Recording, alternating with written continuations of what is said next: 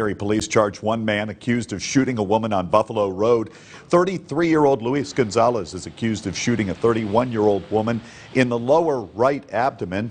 Shooting happened Wednesday around 1 o'clock in the afternoon in the 1800 block of Buffalo Road.